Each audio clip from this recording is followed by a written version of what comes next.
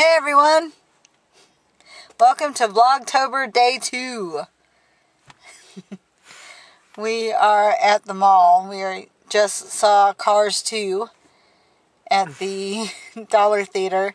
And then uh, we've got about 40 minutes and we're about to go see Captain America also. Oh yeah.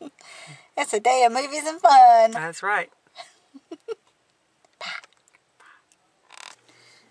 Hey everybody, finally got back to the house after seeing two movies.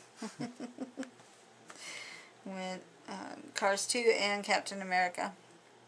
Both are really good. Both are really good. Really excited for the Avengers movie coming out next year. Yeah. Eight more months.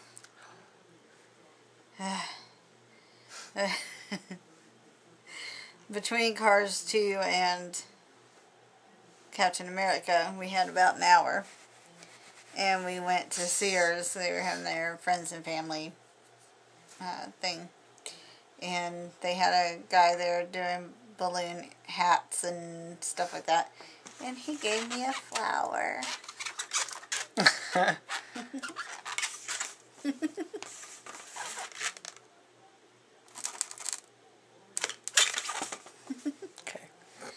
So this concludes Vlogtober Day 2. Love you guys. Thanks for watching. And I'll see you tomorrow.